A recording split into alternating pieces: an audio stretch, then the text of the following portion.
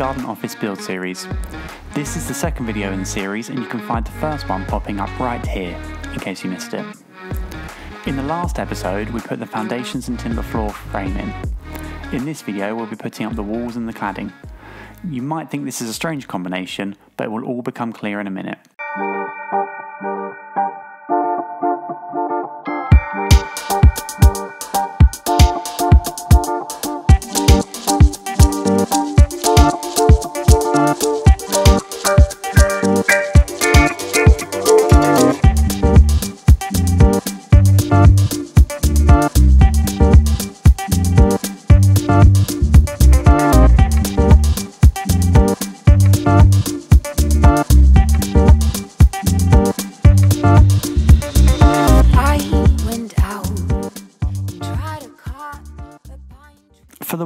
We're working on 600mm centres. This means we have 600mm between each stud.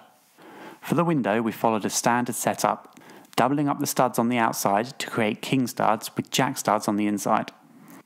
For the header, we have two 2x4s together to provide strength. Everything is then covered in 9mm OSB.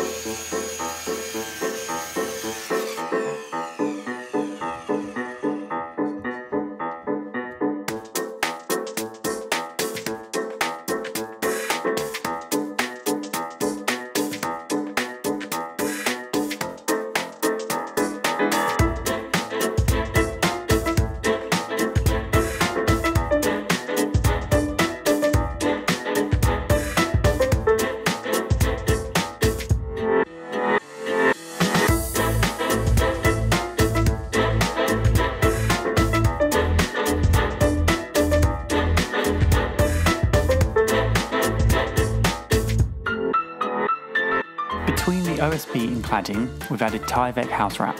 This is a waterproof membrane that prevents water and air getting inside the structure. In general, it was quite expensive and I ended up buying a 100 metre roll and then selling the rest afterwards. More on this in the cost video to come.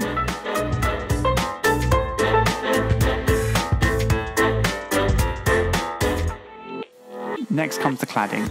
For the three walls I don't see directly, I chose to clad with anthracite box profile cladding. This is super simple to install. It comes with the screws as well as the coloured caps to match the cladding colour. I needed to cut it to match the profile of my roof which drops 90mm from front to back. This was an interesting game. We tried everything from circular saws to angle grinders, but the winner in the end was the jigsaw with the cleanest cut and with a good level of control.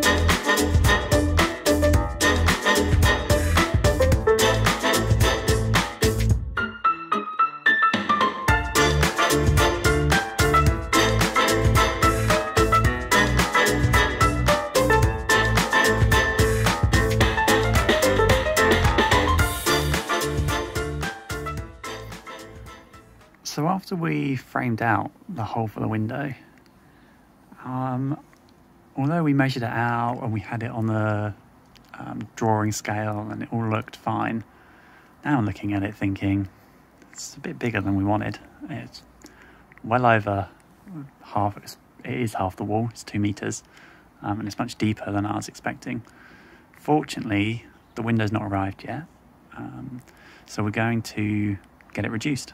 Um, got in touch with the company making it, and it's not even been started to be made yet. So we can, what is a two meter by 600 meter gap, we're going to half that to a two meter by 300 mil, two meter by 600 mil currently, and we're going to make that a two meter by 300 mil gap. Um, so now we'll have to frame and we'll have to add on framing up to halfway, um, but that shouldn't be a problem as you'll be able to see, we've got loads of this house wrap sticking out. This was because we had to house wrap it before we put the walls up because the walls are so close to the fence. We weren't going to be able to OSB house wrap and then um, clad after we put the walls up. That had to all be done beforehand. So we had to then, to create a uh, waterproof seal with silicone in the gap um, as we push the walls together. And so that should create our vapor barrier, theoretically. Also double plated the top of every wall. Um, this is mainly because our joists up the top here. So at the moment, our roof joists don't sit on top of um, one of the studs. If it did, if they did sit on top of the studs, we could maybe get away with not having to double top plate.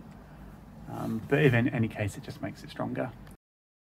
We're now going to skip forward in the order in which I did things in, just to cover off the cladding at the front of the garden office here too. I got sucked in by all the pretty pictures of cedar cladding on other people's garden offices, but once I'd done some research, I couldn't really believe how much it costs. I ended up buying larch, which I think looks equally as good and costs half the price of the cedar, but it was still expensive in my eyes compared to everything else on the project. I used a company called Southgate Timber who I'd really recommend, and I'll put a link to them below. I wanted to install it vertically, so I needed to run two sets of battens so that there was an air gap behind the cladding. This air gap needs to run top to bottom, which is why you need vertical and horizontal battens. I went for a wide larch plank at 144mm with a shallow gap. I then used the natural oil wood stain for UV protection. There's still some fine detail to do around the door, but I'm really happy with how it's looking.